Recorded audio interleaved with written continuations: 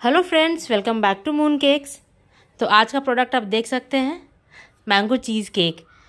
आजकल जैसे आप जानते हैं ना, चीज़ केक बहुत ट्रेंडिंग है और खाने में भी यमी है। बहुत ही यमी लगता है, खैर।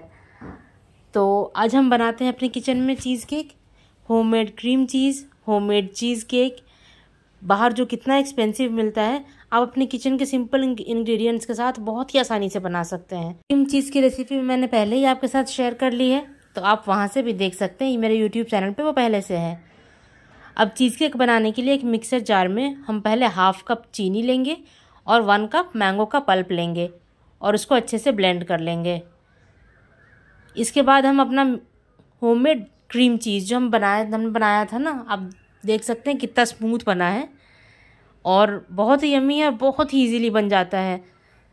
आप जाके इसकी रेसिपी देखिएगा मेरे चैनल पे। बहुत ईजी बहुत ईजी रेसिपी है, बहुत ही आराम से बन जाता है। आप ये डालिए, इसके बाद डालिए इसमें half tea spoon vanilla essence optional है, आप चाहें तो डालें, आप चाहें तो ना डालें। और उसके बाद इसको अच्छे से मिक्स कर लीजिए। क्रीम चीज़ मैंगो पल्प और शुगर मिक्स होके कुछ ऐसा सा कंसिस्टेंसी इसका हो जाएगा। जली सा। और चीज़ केक का एक सीक्रेट बताऊँ मैं आपको? जब आप बनाने जाए ना तो आप जितना ही क्रीम चीज़ लीजिएगा, उतना ही आप विपिंग क्रीम लीजिएगा। विपिंग क्रीम आप विप करेंगे तो वो फैल जाएगा बट चीज़ क्रीम चीज़ जो है ना, वो फैलता नहीं है। तो अब मैंने 250 ग्राम क्रीम चीज़ लिया था और 250 ग्राम मैंने मतलब 250 फिफ्टी एम एल मैंने विपिंग क्रीम ली है।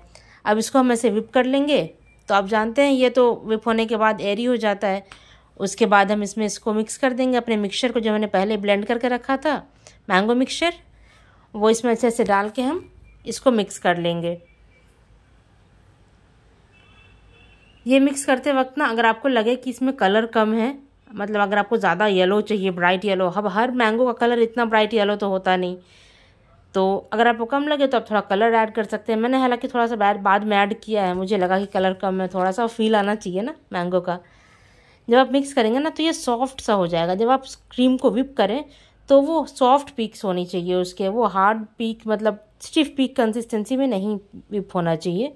उसको आप सॉफ्ट पीक कंसिस्टेंसी में विप कीजिएगा तो ये अच्छे से ऐसा फ्लोई सा मिक्सचर होगा। मतलब ज़्यादा थिक भी नहीं होगा और ज़्यादा पतला भी नहीं होगा। अब क्रीम चीज़ तो रेडी हो गया हमारा। अब हम चीज़ केक के बेस के लिए बिस्किट्स यूज़ करेंगे। या तो आप डाइजेस्टिव बिस्किट्स यूज़ कीजिए। घर पे गुड्डे होगा, वो यूज़ कर लीजिए। मुझे कोकोनट क्रंच चाहिए था। अपने बेस में। इसलिए मैंने कोकोनट बिस्किट यूज़ किया है। मैंने कोकोनट बिस्किट को मिक्सी में पीस लिया और इसके बाद हम इसमें डालेंगे बटर तो बटर आप अराउंड डालिएगा टू टेबल स्पून अगर आप इसको मेल्ट करके डालते हैं या फिर आप ऐसे भी डाल सकते हैं, अगर आपका बटर रूम टेम्परेचर पे है तो आप डाल के इसको मिक्स कर सकते हैं इसके साथ। मतलब ये ऐसा होना चाहिए ना, पीसने के बाद मिक्स होने के बाद। जैसे आप जब मठरियाँ बनाते हैं ना तो मोयन करने के बाद आटा कैसा होता है? हाथ में बंधता है।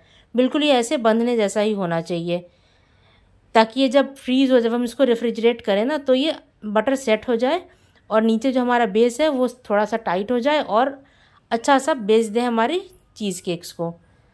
बस इसको आप इसमें डालिए और अच्छे से फैला लीजिए दबा दबा के मतलब अपने स्पैचुला से। उसको अच्छे से फैला लीजिए ताकि वो सेट हो जाए। सेट होते वक्त वो लूज़ ना हो, जब आप उसको निकालें तो वो गिरे नहीं। तो इसलिए अच्छे से उसमें प्रेशर डाल के आप ऐसे स्पैचुला से कीजिए या फिर आप किसी ग्लास के बेस से, कटोरी के बेस से कर सकते हैं। इसको अच्छे से दबा के आप इसमें फ़िक्स कर लीजिए। अगर आप सिंगल सर्व बना रहे हैं तो आपको इतना दबाने का और इतना सेट करने का ज़रूरत नहीं है बट अगर आप केक बना रहे हैं, जो पाँच इंच छः इंच के मोल्ड में बना रहे हैं, ज़्यादा बड़ा बना रहे हैं तो फिर आपको ऐसे बेस की ज़रूरत पड़ेगी। तो मैं ये छः इंच के मोल्ड में बना रही हूँ तो मैंने फिर ऐसे अपना बेस रेडी किया। और जो सिंगल सर्व के लिए मैंने लिया, वो एक ऐसा प्लास्टिक का जार है, जो मैं सेल करती हूँ। तो इस जार में हम ऐसे इसको ले लेंगे। इसमें ज़्यादा दबाने की आपको ज़रूरत नहीं फिक्स करने की ज़रूरत नहीं है। बस इसको लेके आप फ्रीज में रख दीजिएगा। तो फ्रिज हो जाएगा ये around fifteen minutes butter set हो जाएगा। और उसके बाद हम अपना जो मिक्सचर हमने रेडी किया था ना, वो इसके अंदर फिल कर लेंगे। वो मिक्सचर हम around one two one point five inches fill करेंगे। One inches two one point five inches इतना ही। इसको इसके अंदर फिल करके हम अच्छे से स्प्रेड कर लेंगे, इसको इवन कर लेंगे टैप करके। आप चाहें तो इसके ऊपर मैंगो जेली डाल सकते हैं, या न्यूट्रल जेल जो हम केक के लिए यूज़ करते हैं, वो डाल सकते हैं। बट मुझे ऐसा कुछ डालना नहीं था, क्योंकि मुझे जली इतनी पसंद नहीं है।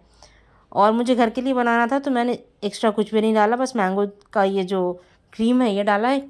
और उसके ऊपर मैंने इसको मैंगो पीसेस से डेकोरेट किए थे। देखिए मैंने सिंगल सर्व में भी इसमें डाल दिया। आप देख सकते हैं वो हाइट जितनी चाहिए होती है हमें। इसके बाद आप मैंगो के पीसेस इसको डेकोरेट कीजिए। आप इसमें नट्स डाल सकते हैं चेरीज़ डाल सकते हैं चोको चिप्स यूज़ कर सकते हैं। इसके बाद आप अपने टेस्ट के अकॉर्डिंग इसको मॉडिफाई कर सकते हैं। तो आप इसमें कुछ भी डालिए, आपकी टेस्ट के अकॉर्डिंग मैंने तो पीसेस डाले थे मैंगो के और फिर थोड़े से चेरीज़ डाले थे कट करके, क्योंकि ये कलर भी मुझे पसंद है और चेरीज़ का टेस्ट भी मुझे बहुत पसंद है। तो ये डालने के बाद आप इसको फ्रिज में डाल के सेट कर दीजिए around six two eight hours या फिर ओवरनाइट।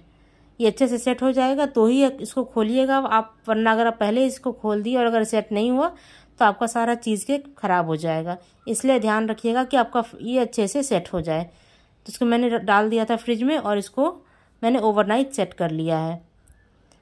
तो आठ घंटे के बाद जब हम इसको खोलने लगे ना तो फिर साइड्स में आप इसको पहले नाइफ से थोड़ा सा लूजन आप कर लीजिएगा ताकि वो खोलते वक्त परेशानी ना दे आपको।